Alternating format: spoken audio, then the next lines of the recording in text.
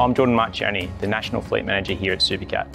This is our HMT vehicle in service with both conventional and special forces units around the world. In 2017 we identified an area of improvement for our existing European designed radiator. We set up an R&D project that set out to improve upon the base design for Australian conditions.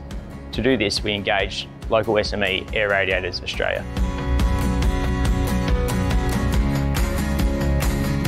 My name's Jamie Bainch. I'm the General Manager of Air Radiators. At Air Radiators, we produce engine cooling solutions for large horsepower vehicles.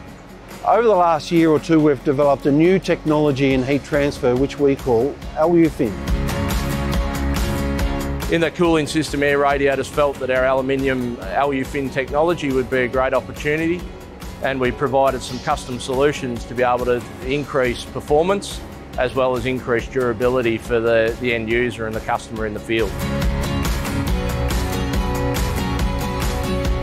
This technology will enable that vehicle to operate in the harsh Australian conditions and as a business we're very proud to be able to introduce this new technology into the defence sector.